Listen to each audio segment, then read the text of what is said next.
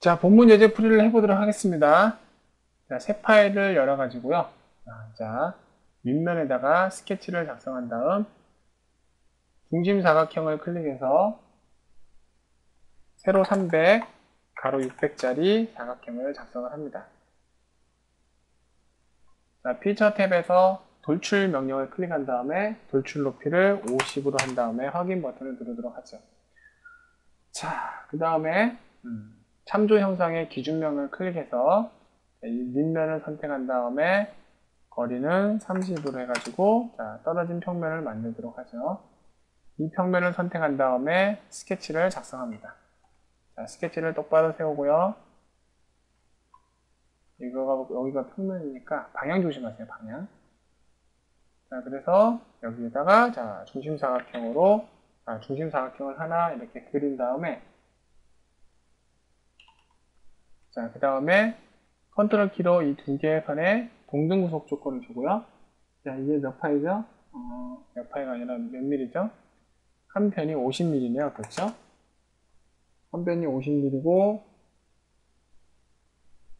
아, 이거 거꾸로 갔네요. 아, 여기 한 변이 50mm가 아니라 여기가 60mm고 그죠? 여기서 여기까지 떨어진 거리가 50mm겠네요. 자, 그러면 이 녀석이 좌우로 왔다리 갔다리 하면 안 되니까 음, 여기 중심점과 이 원점을 선택해서 수평 구속 조건을 클릭합니다. 자, 끝났습니다. 자, 이제 피처 탭에 가셔가지고 아, 피처 탭이 아니라 일단은 스케치 마무리를 간 다음에 loft boss base 명령을 클릭한 다음에 자, 첫 번째 profile은 여기 밑면 두 번째 profile은 여기 스케치를 선택하면 됩니다. 자, 이게 스케치가 점을 어디를 선택하냐에 따라 달라지게 되는데 이거 보면은 안내선끼리 꼬여서 그래요. 다시 한번 볼까요? loft를 해가지고 첫 번째 여기를 선택하고 두 번째도 여기 이 변하고 똑같이 있는 여기를 선택하면 별 차이 없이 되는데 방금 보셨다시피 여기를 선택하고 지금 이쪽을 선택했잖아요. 뜬금없이 이쪽을 선택하면 이렇게 꼬이게 됩니다. 그죠? 이거는 그렇다고 잘못된 게 아니라 이 초록점끼리 이어진 거 보이시죠? 요거를 클릭해서 이렇게 빼요. 그래서 다시 한번 이렇게 뺍니다. 그래서 같은 선상으로 맞춰주면은 올바른 로프트가 작성이 됩니다.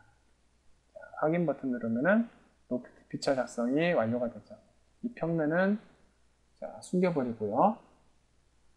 자, 그 다음에 여기 밑에 면을 선택해 스케치를 작성합니다.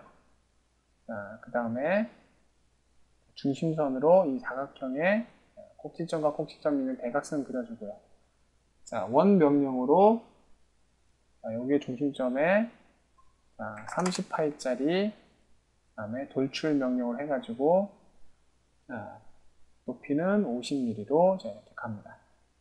자, 마지막 마무리네요. 쉘 명령을 가보도록 합시다. 쉘 명령의 두께가 2mm니까 자, 여기하고 여기를 이렇게 파지면 되겠죠. 하지만 요 파이프 두께는 3T니까 다중 두께 세팅을 누른 다음에 자, 3T로 두고 여기는 어떻게 할 거냐? 여기를 3T로 두겠다라고 여기 이렇게 선택을 해주면 되는 것이죠. 확인 버튼 누르면은 쉘 명령이 작성이 됩니다. 자, 단면도 명령을 보시면은 자, 여기하고 여기의 두께가 틀린 것을 알 수 있죠. 그죠? 아까 다중반경 필렛이 들어가서요. 아, 자, 그 뭐랄까 쉘에서 다중 두께 세팅이 3mm로 들어갔기 때문에 자, 이런 현상이 벌어진 겁니다. 자, 이상으로 본문 예제 풀이를 마치도록 하겠습니다.